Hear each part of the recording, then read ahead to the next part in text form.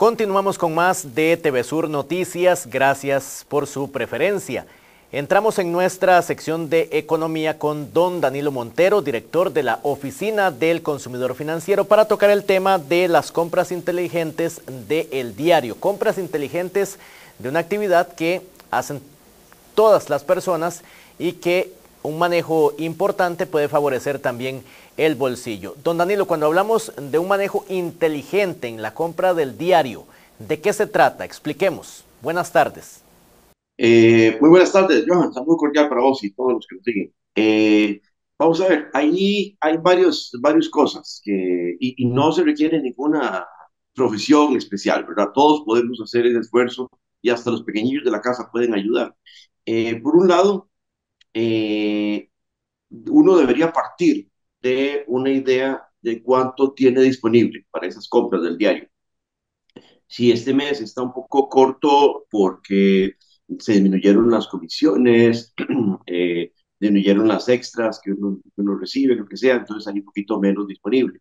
Dos, eh, también debería estar tomando en cuenta si vamos a tener un paseillo, ahora que sobre todo que estamos de vacaciones. Entonces, tener una idea de si uno va al súper con 50, 70, 90 mil o 200 mil colones es importante. En segundo lugar, eh, hacer una lista de lo que uno ocupa, porque si uno deja que el cerebro se encargue de escoger las cosas en el súper, eh, se le van a antojar mil cosas que no ocupábamos y entonces el cerebro nos puede jugar una mala pasada. Y la recomendación del make siempre es importantísima, ¿verdad?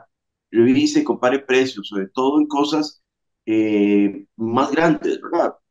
Pelearse por un, eh, un, par de colores en la bolsita de sal no es tan importante, pero si en la casa consumimos mucho arroz o muchos frijoles o mucha carne, sí que vale la pena darse una vueltica, pensar precios en, un par de lugares.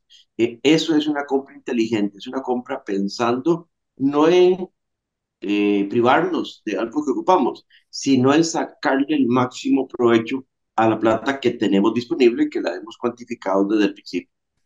Por esta primera explicación, le tomo en cuenta que el uso de una lista de productos de lo que vamos a comprar es de alta importancia. Absolutamente, eh, Johan, porque eh, uno tiene que recordar que las cosas en los supermercados generalmente están puestas eh, las más necesarias, que están al puro fondo, al puro fondo del supermercado, en la esquina de adentro mientras uno llega allá, uno va encontrándose un montón de góndolas con cosas eh, deliciosas, riquísimas, súper atractivas, tentadoras, pero que no ocupamos. Entonces, uno primero debiera mentalizarse que va con la lista en la mano y primero vamos a comprarlo la lista. Eh, frijoles, arroz, eh, carnes, verduras, entonces va directo a lo que compra, a lo que ocupa comprar. Ahí lleva más o menos una idea de cuánto lleva, ¿verdad? Pues, gastado. Y si está sobrando algo, ah, ok, podemos pasar la parte de chocolaticos, una parte de helados, una parte de eh, algún lujito, eh, galletas más finas, pero primero salgamos con lo que necesitamos, porque si no el cerebro es muy tramposillo. Don Danilo, el tema de los niños, porque cuando los niños acompañan, por ejemplo, en, esa labor de la compra del diario, también ellos eh, se van interesando en algunos productos que tal vez no estaban dentro de esa primera lista. ¿Cómo manejar ese aspecto también? Claro, porque los chiquillos no siempre tienen conciencia del presupuesto, de la plata que uno tiene disponible ese, esa quincena o ese mes. Sin embargo, es una buena práctica si uno sabe a lo que va eh, si nos lleva con el afán de hacer, darles una lección de cómo se maneja la plata, cómo se orienta el dinero en función de este tipo de programas como este del canal, eh, me parece que uno puede estar haciendo un favor tremendo a los chiquillos. Si uno los lleva y lo que ven es que nosotros mismos nos antojamos los viejos, eh, ya está más difícil, Entonces ellos lo van a aprender es antojo. Una última, don Danilo, para cerrar este tema de las compras inteligentes del diario, las promociones que se encuentran en supermercados, ¿cómo manejarlas? Importantísimo, importantísimo. Eh, de nuevo, siempre partiendo de que tenemos una idea de cuánta plata tenemos disponible, ¿verdad?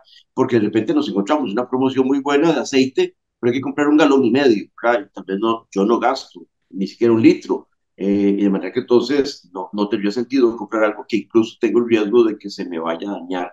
De manera que entonces sí, revisar las promociones es importante, pero estar consciente de mis circunstancias y mis disponibilidades de efectivo. Perfecto, muchas gracias a don Danilo Montero, director de la Oficina del Consumidor Financiero, que nos acompañó esta semana hablando de compras inteligentes del diario, una labor importante que se hace cada mes, cada quincena, cada semana, como usted bien lo programe, pero que es importante esas recomendaciones para el bienestar de su bolsillo. Hacemos pausa comercial, ya volvemos con más.